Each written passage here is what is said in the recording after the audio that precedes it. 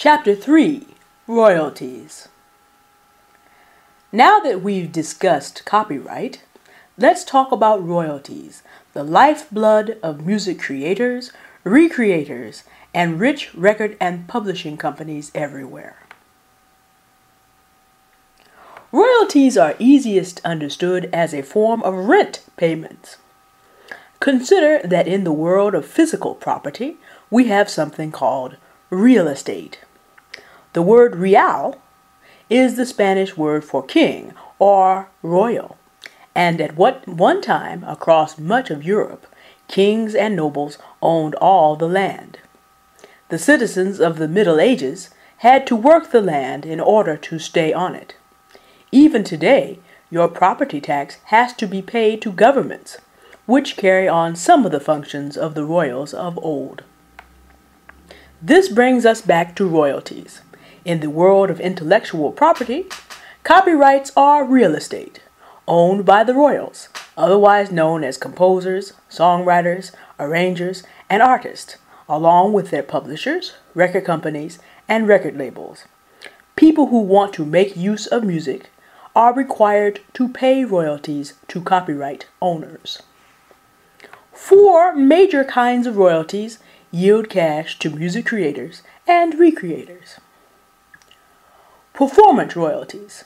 These are due whenever a piece of music is performed in public, live, or through recordings on TV, radio, and the internet, with the exception of religious services and certain non-profit and educational uses. Performance rights societies such as ASCAP, BMI, or SESAC assist musicians in collecting these funds. Mechanical royalties. These are due whenever a piece of music is reproduced on cassettes, CDs, DVDs, and videos, but there is more to the video piece, and also through the internet. The royalty rate for standard physical or digital reproduction of a song is 9.1 cents for pieces under 5 minutes and 1.75 cents per minute for pieces over 5 minutes. Licensing a ringtone costs 24 cents a minute. Licensing a song for interactive streaming is 1 cent per minute. Synchronization royalties. These are due whenever a piece of music is put into a movie, a television show, a documentary, a podcast, a video game, a TV commercial.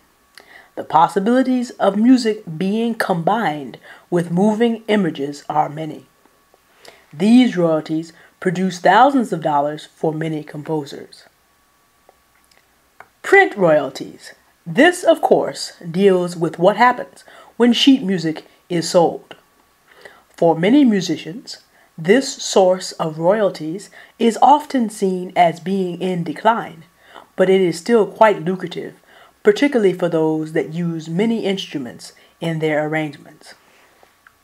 There are also miscellaneous royalties that are due when a song is used as when its lyrics show up in a piece of literature, and on and on and on. This category is sometimes the catch all for whatever doesn't or hasn't yet been fitted into the other four categories. Much money is made and lost in this category, because even if you don't know how to use some of the things in here, someone else does. Theoretically, one hit song can receive millions of dollars in royalties from all four major categories and pick up a lot of strange things in the miscellaneous department. In other words, one hit song can pull in millions of dollars over a few decades. Brothers Jeffrey and Todd Brabec, in their book Music, Money, and Success describe more than 20 sources of royalties a hit song can generate.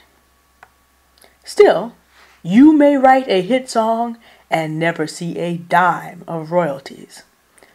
Much depends on your contractual relationships with the big companies of the music industry, who are as eager to possess your hard earned money as you are.